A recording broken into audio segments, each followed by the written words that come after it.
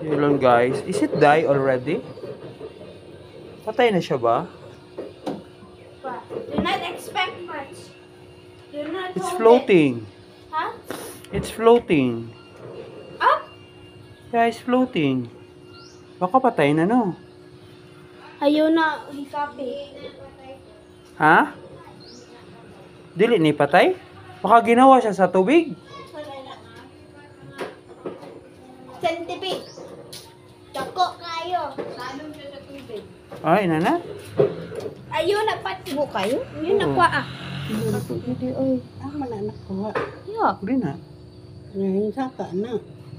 Kay kanina tong kuanan agyanan ng tubig diri. Natabunan man ang ugot agod.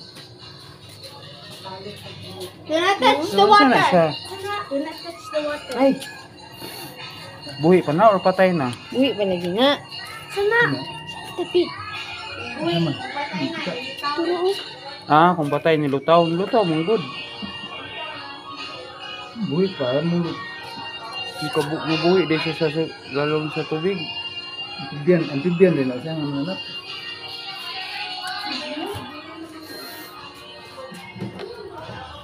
Bagara pa daw, dami. Ang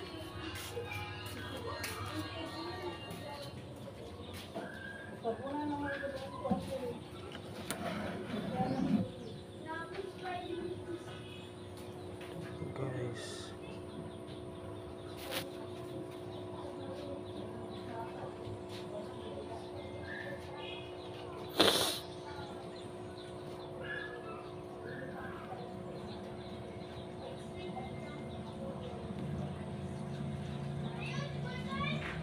Dong, nasa tong. Kung lay dong. Ano ba itong gigamit dong? Dong! Dung, alive pa ni Yuan?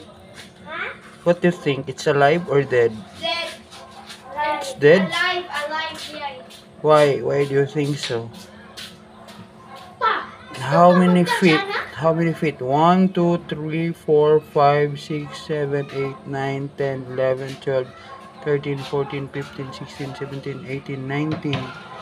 1, 2, 3, 4, 5, 6, 7, 8, 9, 10, 11, 12, 13, 14, 15, 16, 17, 18.